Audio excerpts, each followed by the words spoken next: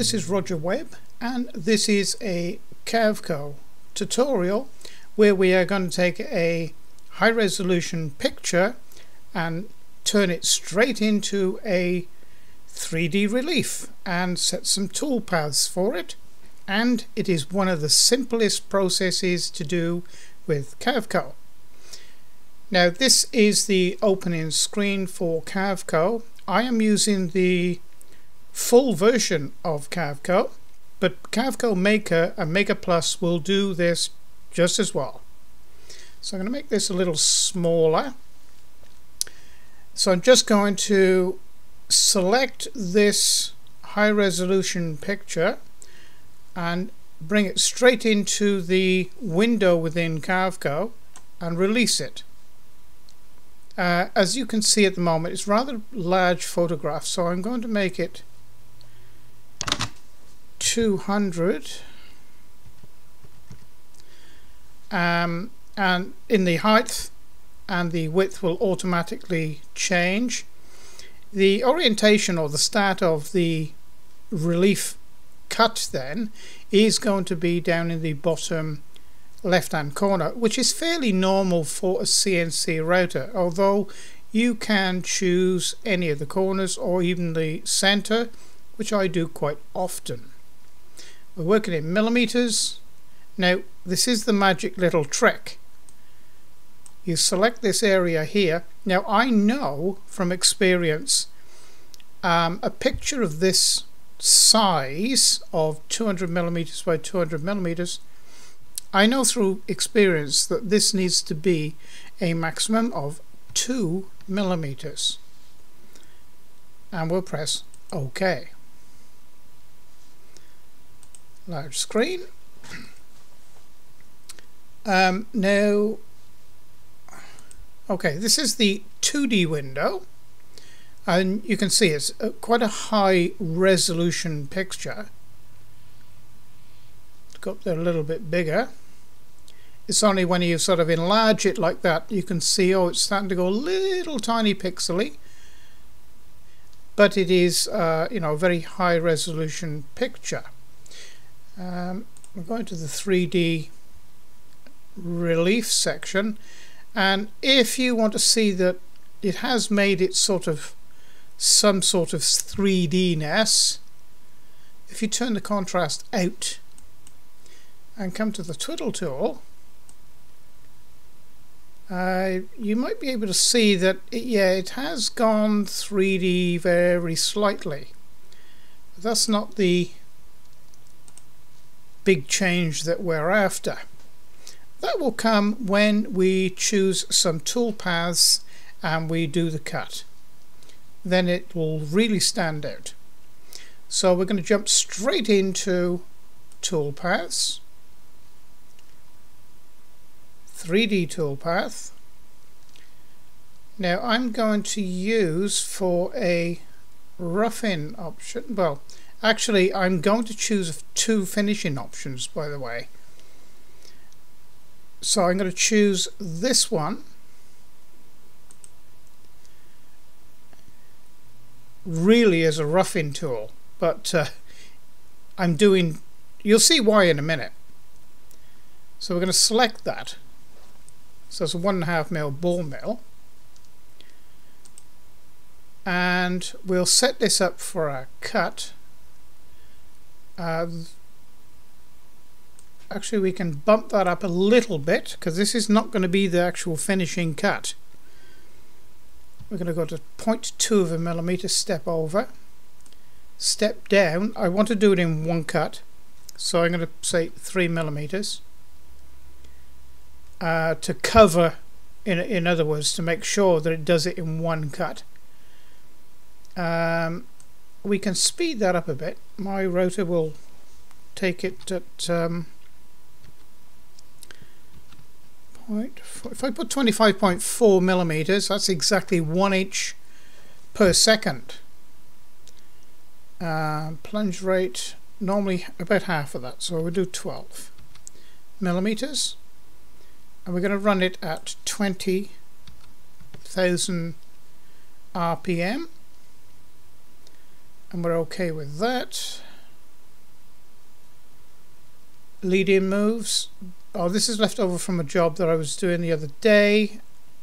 So 10 degree angle, that's fine. Plunge height, that can probably come down to about 3 millimeters. Don't want to be too high. Just cuts down the time a little. Uh, ramp length TDU.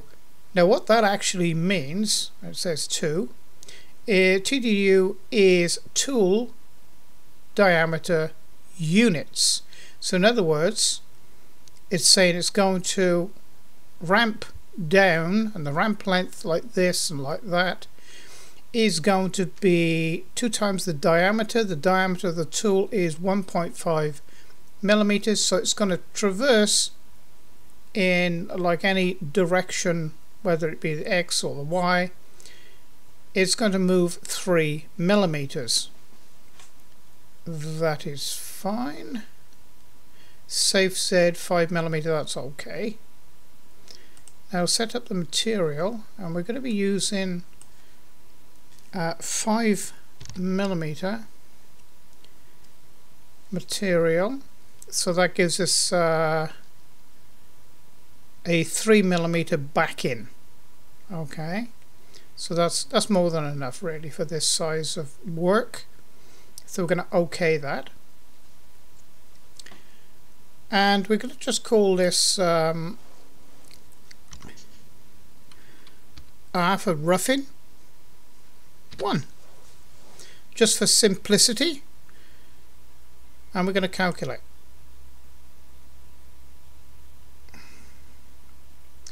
and there it is. Now I'm going to run the simulation on this. And we'll run it fast. And we'll simulate.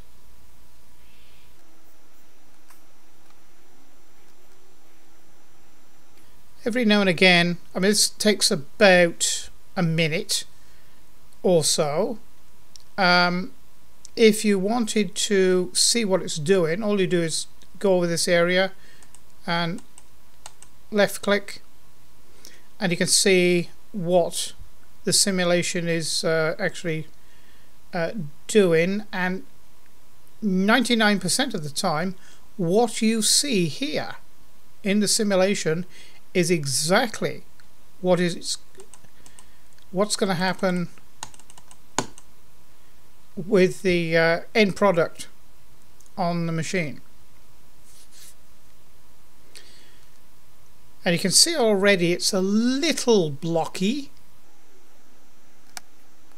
Uh, it looks, although it's a 3D cut, it's looking a little bit sort of it's not exactly getting into all the letter in there and it's even though it's a fairly small tool you can see here the mesh on the air filter it's not actually you know it's not machined in any great detail. And I know we can do quite a bit better than that. Okay. So it's there. It's a 3D relief. Actually we get the twiddle tool and and you can see it is 3D but we can make it a lot better than that so what we're going to do is go let's come out of that. Go into toolpaths again. I'm going to say this is going to be the whole relief. And we're going to choose another tool. We're going to come down here and choose a 10 degree angle um, 0.125 flat very sharp tool. This is an engraving tool. But with this tool we can get really high definition 3D carving on this. So we're going to select that. Uh, the only thing you're going to give away is a little bit more time. For machining time that is. Okay step over we're going to take the recommended step down. We're going to go to 3 millimeter again. Feed rate. This time we're going to go slow it up just very much a little bit so as to get the clarity there. It cuts down a little bit on any finishing. So I'm going to say 20 millimeters instead of 20 25.4 uh, this can be 12 millimeters again but this time we're going to alter the RPM to 24,000 RPM which is the maximum. And this is tool number two. Um, raster. And we're going to leave this the same. We're going to leave everything the same we're going to put down here uh, that this is um, finishing tool number two and calculate. Okay. Because the step over is so fine uh, obviously you can't see you know the lines is just one red box because there's a lot of lines. A lot of tool, a lot of paths then should I say. Okay now we're going to simulate this. We're going to simulate toolpath 2 simulate and here we go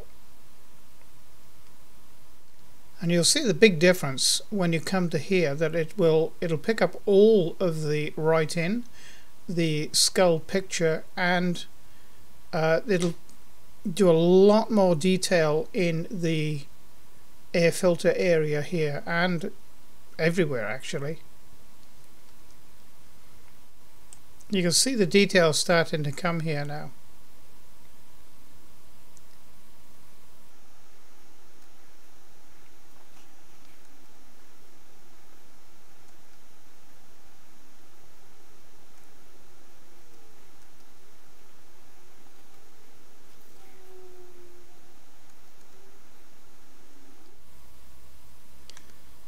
Okay, turn the contrast up a little bit and you can see, so you can see there's a big difference in make, making a final cut or finishing cut with that conical tool.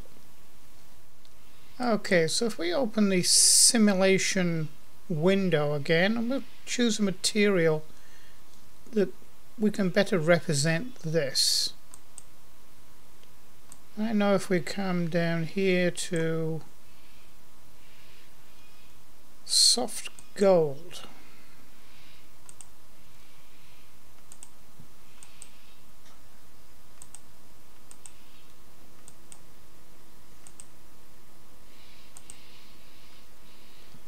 Okay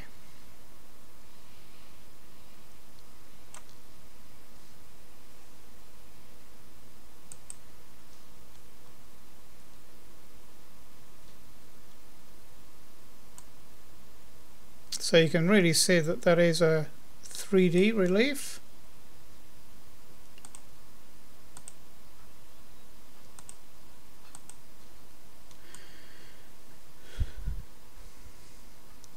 Quite a nice representation there of the picture.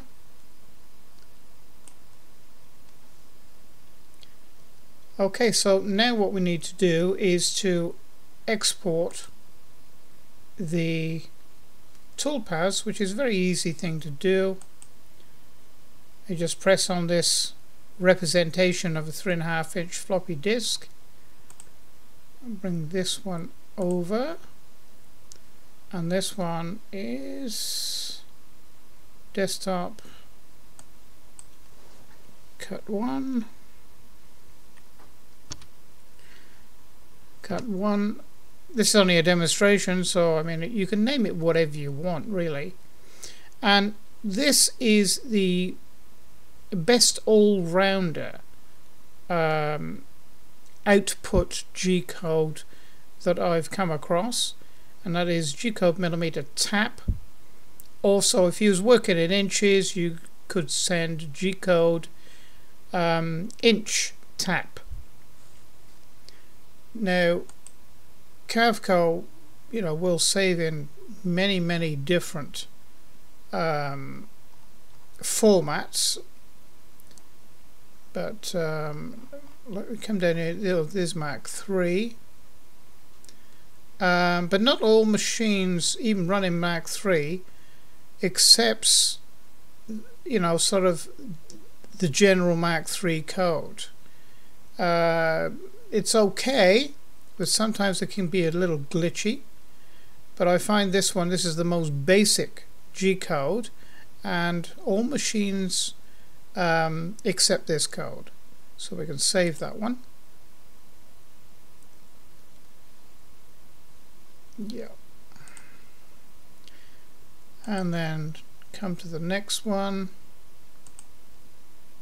Bring that over and save it in the same way. We're going to name it differently. Two and save. Okay. So really that is all you need to do. It's a very simple process to uh, you know you take a high resolution uh, picture now it absolutely needs to be the highest resolution that you can obtain of a picture. Uh, it can be a photograph anything. Um, and you can make a 3D engraving from it.